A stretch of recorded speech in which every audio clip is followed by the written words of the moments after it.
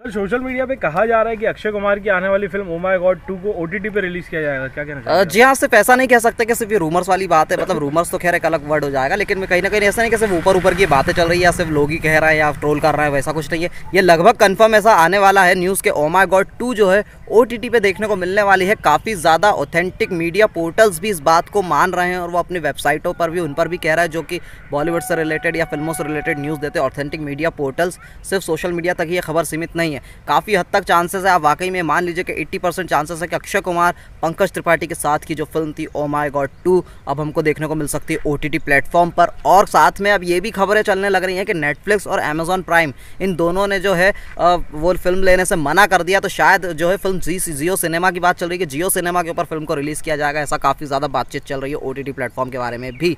लेकिन अब देखने वाली बात होगी कि ऑफिशियल क्या होगा, क्योंकि मेकर्स की तरफ़ से तो कोई ऑफिशियल स्टेटमेंट इस बारे में आया नहीं है। हो सकता कुछ दिन में देखने को मिल जाए, क्योंकि अभी सिर्फ़ खबरें चल रही है। हो सकता है ऐसा मैं कहीं ना कहीं कहूँगा कि ये तो बुरी बात है कि फ़िल्म जो है थिएटर में देखने को नहीं मिलेगी। अब उसके पीछे बुरी बात क्या है, इसमें हम सभी जानते हैं कि इसके पीछे रीज़न क्या अगर वाकई में ऐसा हो रहा है। और अक्षय कुमार की फ़िल्म ओमाई गॉड अगर ओटीटी पे आ रही है रिलीज़ होने के बजाय थिएटर्स के बजाय तो इसका रीज़न सभी जानते हैं कि क्यों हो रहा है, वो सिर्फ़ इसीलिए हो रहा है क्योंकि अक्षय कुमार की लगातार फ़िल्में फ्लॉप होती रही हैं और क्या हाल हो रहा है, इस वजह से थिएटर में रिलीज़ करने में मेकर्स भी डर रहा है। सोच रहे कि हम ओ के ऊपर रिलीज़ कर दें, उसको बेच के और हमारा पैसा अर्न कर लें। क्योंकि अभी हालिया फ़िल्म हम देख चुके हैं कि सेल्फी काफ़ी चार महीने या पाँच महीने का गैप चार महीने का गैप होने के बाद उन्होंने कोई फ़िल्म रिलीज़ करी थी। अक्षय कुमार ने बड़ी बात है उनके लिए तो वो दो फ़िल्म दो महीने में फ़िल्म ले आते तो उसके बावजूद फ़िल्म के कलेक्शन आप देखिए, डेढ़ करोड़, दो करोड़ की ओपनिंग मुश्किल से उसने ली और टोटल कलेक्शन के बारे में क्या बोलूँ? शायद बीस करोड़ भी नहीं पहुँच पाया उसका लाइफ टाइम कलेक्शन तो ऐसे में आप खुद ही समझ जाइए जबकि रणबीर कपूर, श्रद्धा कपूर की फ़िल्म साढ़े पंद्रह करोड़ की फ़र्स्ट डे ओपनिंग ले रही है, वो भी होली वाले दिन, आधे दिन शुरू होकर आफ्टरनून शोज़ शुरू होने के बावजूद साढ़े पंद्रह करोड़ की ओपनिंग ले रही है।